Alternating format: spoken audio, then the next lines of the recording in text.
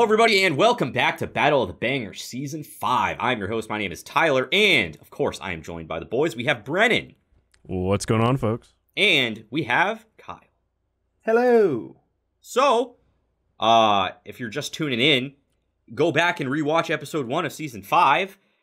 Give us those views. But uh, in case you're confused, what we're doing, we are doing the battle royale of all of the robot with human hair songs, minus the the Vietnam one because it couldn't fit all nine in.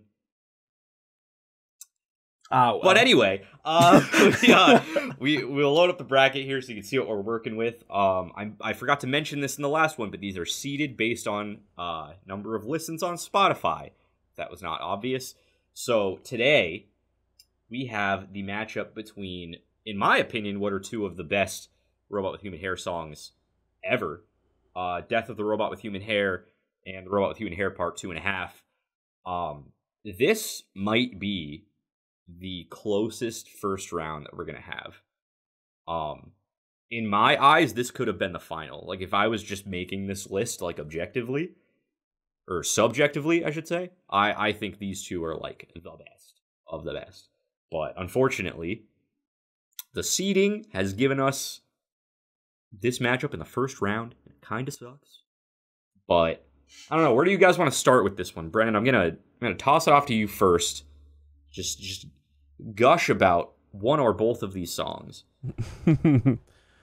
I'm going to start off with the song that I've been an absolute simp for ever since the first time I heard it, and that is Death of the Robot with Human Hair.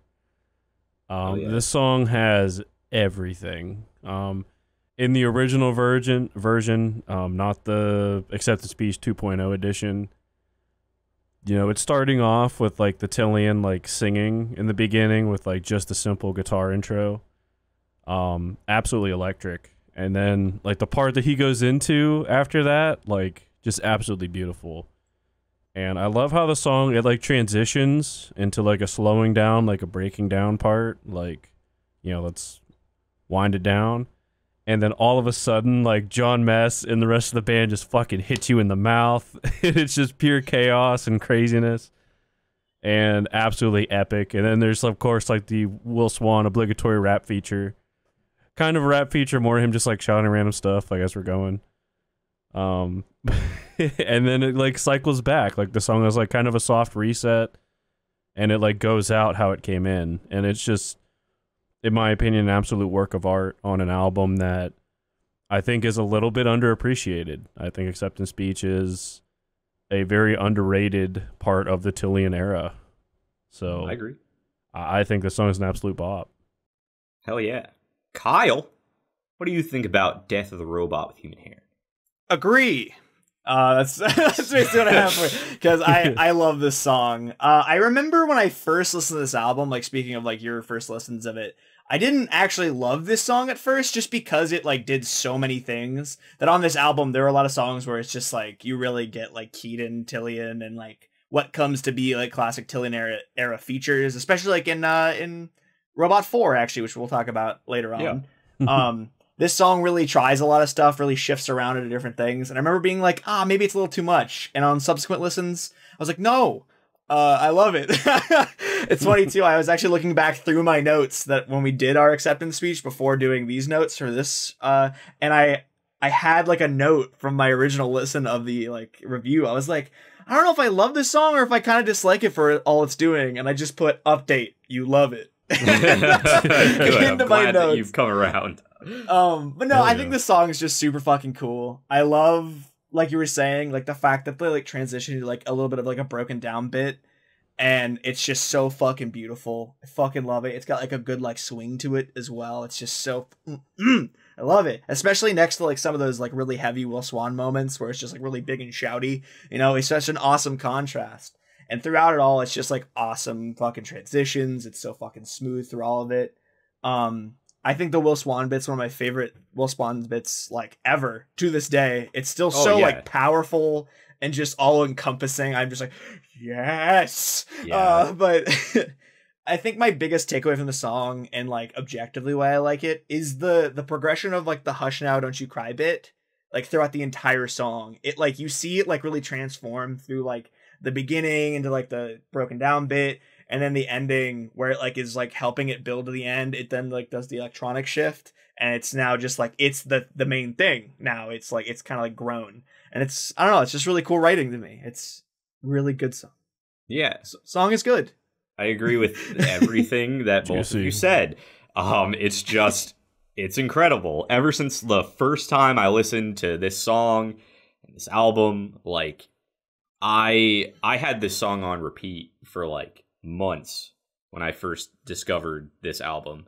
Um, I remember Brennan told me, "Don't listen to Acceptance Speech because it's bad." and then I I listened to was- it, and like this is one of the songs specifically where I was like, "Are we sure that that's like the correct opinion to have? Because this seems pretty good." Uh, that, that was that was a mistake in my life. Telling you, it, it, it was all because of Jesus H Macy. But yeah, totally totally subjective take there, folks. yeah. But I don't know. And also the music video for Death of the Robot is really cool too. He gets like the big buff man arms and then fighting shit. It's just it's cool. Um oh, yeah.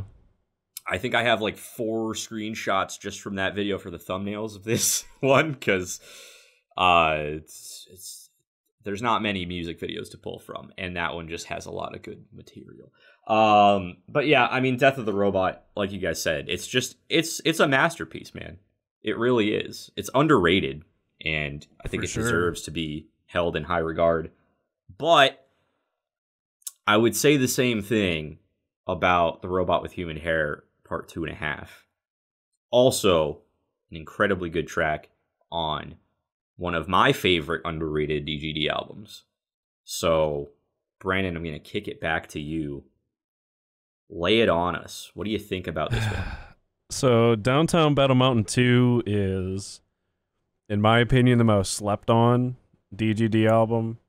Um of course it's when Jonny Craig came back to the band, made an album, probably got kicked out of the band.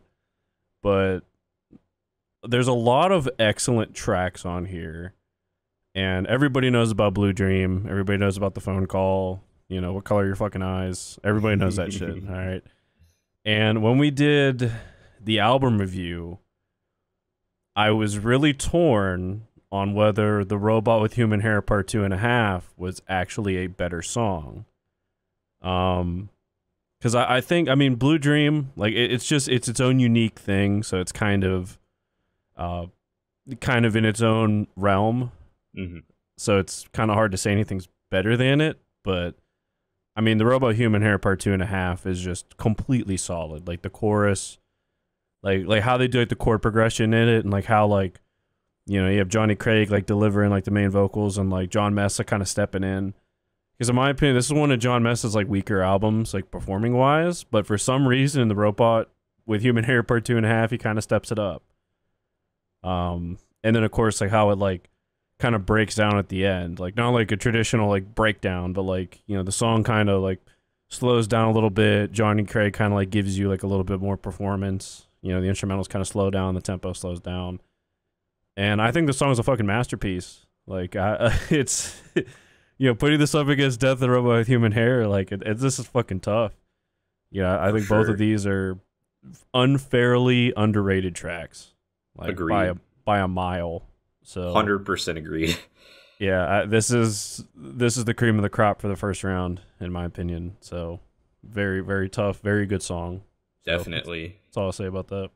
kyle do you like this song as much as we do uh yeah i really okay like this track cool. um I just I don't come back to this album as much. Like I don't think it's as underrated. I agree that it is underrated, like blanket statement, but I just I don't come back to it as much because it's not my favorite. There's a lot of tracks from it that I like a lot, but it's not like overall as like a DGD album. Do I come back to it as much? Um, but that's just personal. So, uh, but no, I really fucking love this track. It's still one of my favorites off of this album. I I've come out and said it a lot of times on the uh, on the podcast that Jonny Craig is probably my least favorite vocalist Uh, and it's just like a personal thing. I just don't love like his voice as much as the other two. Um, but I, I, I don't know. I think in, specifically in this track, uh, I actually really like some of the stuff that he does. I don't know if maybe it's like where his voice is sitting for like the main like part of the chorus, but it just it really hits for me. I really like it. Um, however, I agree with you, Brennan. This is one of Jon's weaker albums, in my opinion. I've said it a bunch when we reviewed the album, but I don't know. I just don't. I don't think he sounds that good here. I think it's really crazy to see, especially when we talked about fucking Royal Ocean, like to see where Jon started and nowadays it's just like, is that the same guy? It's so cool. Um, but I don't know.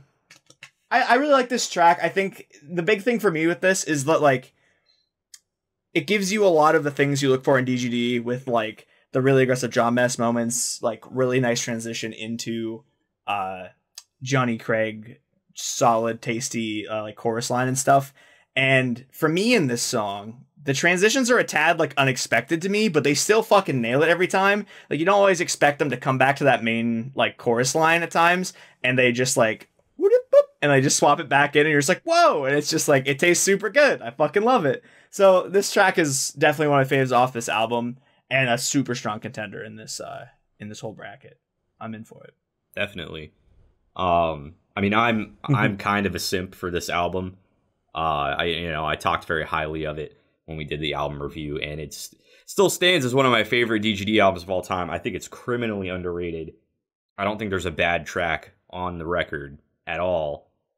Um, and Robot Part Two and a Half is a perfect example of that. I mean, just everything you guys said, hitting the nail right on the head. Like it's just they do so many cool things. Jonny, Craig, yeah, I know that Kyle, he's not your favorite uh, vocalist of the DGD, you know, timeline, but I think that this album specifically, I think he was just killing it on every track.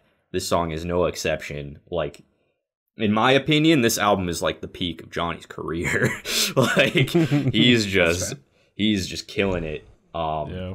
there's just so many good parts about this track, but I really don't know. Like comparing these two in my mind, it's so hard to pick a superior track because I think they both are perfect in their own ways. It's really hard to like matches. I hate that this is like a first round match. Like I really I really hate this. Both of these songs deserve to be in the semis and we have to kill one now and it feels bad. Uh I'm going to vote first Fair. because I think that um I I think that since there is another song from Acceptance Speech that is also on this bracket, we deserve to give Jonny Craig a shot at at going further on in this competition. Everyone complains that we're all the Tilian show. Well, guess what? All of those people who say that, I'm gonna vote for uh, part two and a half right now because I think that that our our boy Jonny Craig deserves to make it into a semifinal round. Is that a stupid reason? Maybe, but it's a safe reason, so that's why I'm going with it. I'll go next. Yeah. I'm going yeah, I need some I'm- time. I'm going with Death of the Robot. Sorry, I'm kind of putting you in a bad place, Brennan. But uh I don't hate your reason, Tyler, but I was also leaning towards Death of the Robot. And I was like, you know what? I know Tyler really likes Downtown Battle Mountain 2. Maybe he'll like sell me on like why he's gonna vote for it. And you gave me just a bad reason. So it was a bad with- reason. I'm not gonna deny that. I'm not. So- I'm not gonna say that I I tried to sway you because honestly, Uh. I think both these songs deserve a vote, I mean, fair. and I'm fair. so I'm glad that this is coming down to a tiebreaker. This is all I wanted. I just think objectively, down uh, Death of the uh, a Robot just takes like a really great song and then also implements like some really cool, unique ideas to like transform the track to like another level. Whereas Robot 2.5 is super solid all the way through. Some of the best Jonny Craig in my mind. Super banging with all like just like the fluidness of everything, but. Death of the Robot takes it another level to me, just overall creatively and objectively in my mind. And and the problem is, I agree.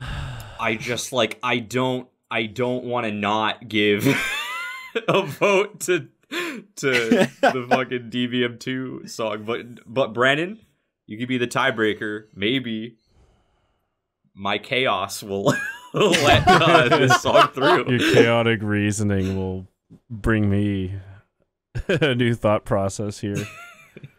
um, man, look, I, I absolutely love part two and a half. I do. I think arguably it could be the best song on DBM two, and I think DBM two is heavily underappreciated by the DGD community. Like like it's one of those things like if you know, you know. Like like the album fucking rips and people don't give it the respect it deserves. However, Death of the Robot with Human Hair is an absolute fucking masterpiece. Like how they're able to like construct like is you know we, we always talk about building, we always talk about you know how songs can like construct, deconstruct, reconstruct, fucking you know change, transition, all this crazy shit. Like Death of the Robot with Human Hair does all of that. Like has a really solid opening, you know, builds up to something, deconstructs. All of a sudden, it's fucking Jon Mess hitting you in the face, like, and then like you know the Will Swan, like it just gives you so much variety and like like dynamics of the track. And I mean, Robot with Human Hair Part Two and a Half, I think is just an excellent, fantastic song. Like I think, you know, it does a ton of stuff in its own right.